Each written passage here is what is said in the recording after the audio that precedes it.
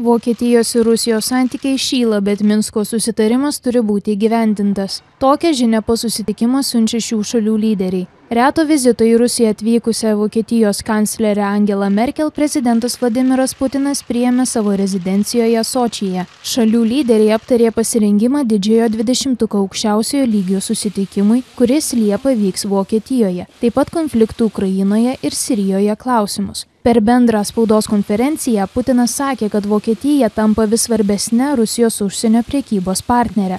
Merkel taip pat pasisakė už bendradarbiavimą tarp Berlyno ir Maskvos.